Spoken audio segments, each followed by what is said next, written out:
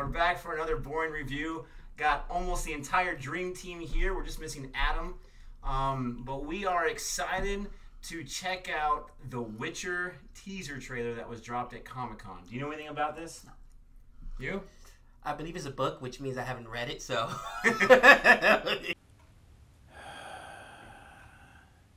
Here we go. Boring reviews! The book was better. So I, I did a little bit of research, and it's about eight or so books since the early 90s that's going to be adapted into this TV series, which I think is cool. And I guess Netflix wanted to do a movie, but one of their executives was smart enough to say, no, this is eight books. Let's do an entire series. There's also video games, but this is basically just from the books. It's got Henry Cavill in it, which you know excites me. He's got like this crazy gray wig or whatever, and I got the grays, so you know we got that going on. But without further ado, let's get into it. I remember hearing stories about witches. Is it true what they say? Speed up.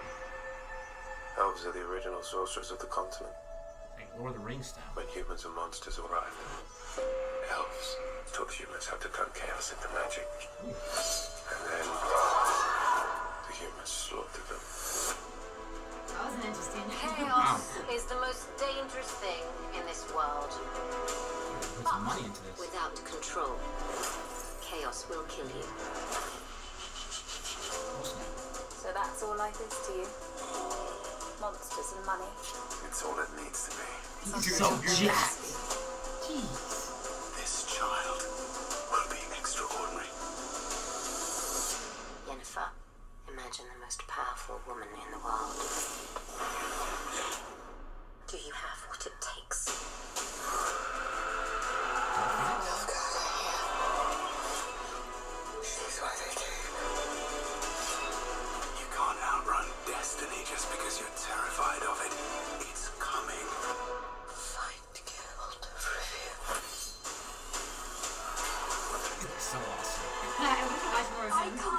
Without Shit. you. No matter what you choose, you'll come out bloody.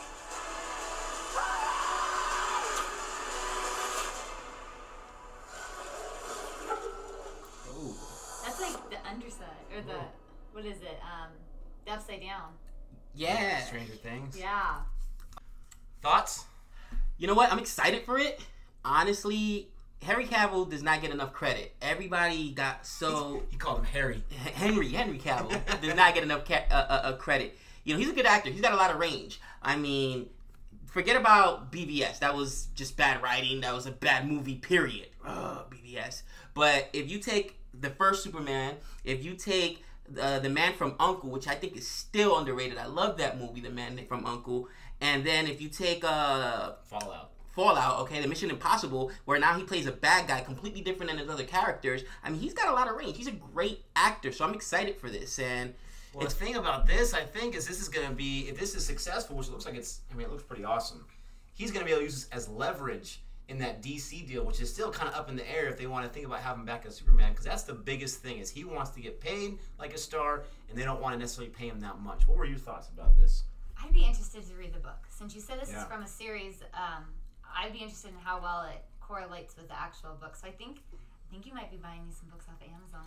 And not just that, but Polish books, and it's always cool to, to read stories or to watch movies based on different cultures and you know continents and countries' uh, literature. But this looks cool. It's, it's going bananas right now on YouTube, over 12 million views. So we had to give it a try. None of us knew anything about it going into it, and I think we're all excited to check it out. I tell you what, Netflix is super smart because with the ending of Game of Thrones, right now there's like a, a void left for people that love these type of period pieces. And the fact that it's not a movie, but it's a series. Netflix does series well. I loved, absolutely loved their Marvel series with Jessica, Jessica Jones.